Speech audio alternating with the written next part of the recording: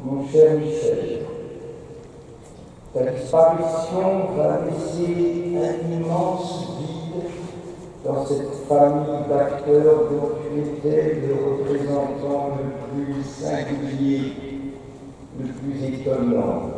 Jean-Pierre Marielle me disait souvent il est le plus grand de sa génération. C'est le plus grand acteur de notre époque, disait Marielle, qui était lui aussi un grand acteur. Un acteur, Michel Piquet, qui le texte la pensée de l'auteur était devenue son obsession, sa passion, sa foi, sa religion, ta drôlerie, ta singularité, la drôlerie dont on ne parle pas souvent parmi toi. On a référence, on a plus l'habitude de ce, ce rigueur, cette rigueur, mais tu étais extrêmement, tu avais un esprit incroyable, Michel.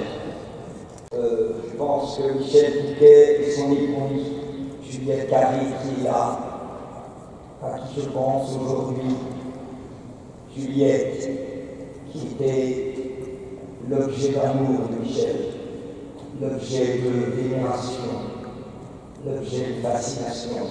Merci Michel. Adieu Michel. Ton souvenir sera éternel, car ta voix, ta voix est.